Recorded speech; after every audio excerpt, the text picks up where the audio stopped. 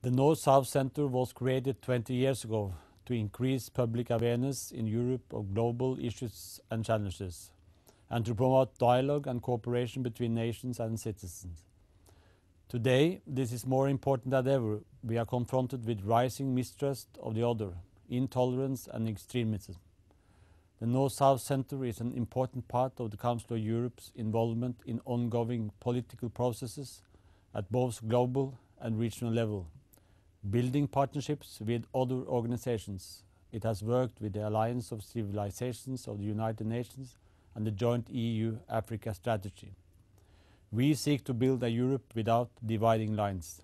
The North-South Center also challenges dividing lines between neighbors, and it makes a vital contribution to pluralistic Mediterranean and Euro-African space based on dialogue, cooperation, and peace.